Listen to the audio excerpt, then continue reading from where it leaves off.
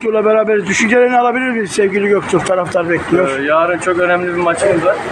Bütün taraftarları, bütün pazar halkını e, Çankaya maçımıza bekliyoruz. İnşallah hayırlısı olur, inşallah kazanırız. Bir gol bir, bir gol bekleyebilir miyiz? İnşallah Allah Evet. nasip ederse. Evet değerli izleyicilerimiz Göksu'dan da röportajlarımızı aldık.